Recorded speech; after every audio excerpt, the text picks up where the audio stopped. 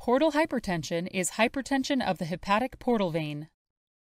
Portal hypertension is the result of a greater than normal difference in pressure inside the hepatic portal vein as compared to veins exiting the liver. Blood pressure in the hepatic portal vein is normally higher than blood pressure in the veins exiting the liver, meaning there is normally a difference in blood pressure between the hepatic portal vein and the veins exiting the liver. In the case of portal hypertension, this difference in blood pressure is even higher than normal and can become pathologic. The cause of portal hypertension can be described by components of Ohm's law. Delta pressure equals blood flow times resistance. In the case of portal hypertension, the increased difference in blood pressure is due to an increase in resistance to blood flow through the liver.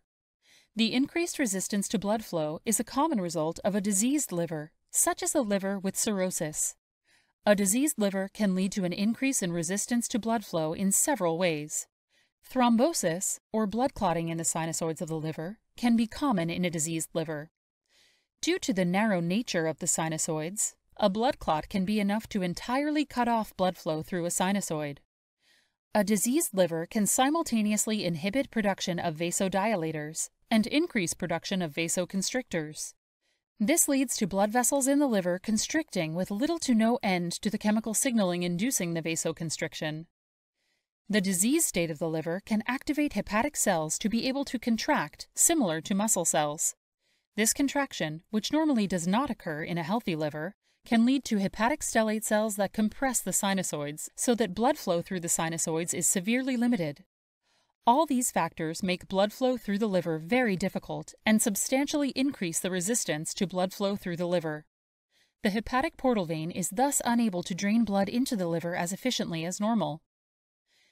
Therefore, with no decrease in blood flow to the hepatic portal vein and an increase in resistance to blood flow through the liver, blood begins to build up in the hepatic portal vein, increasing the pressure inside the hepatic portal vein.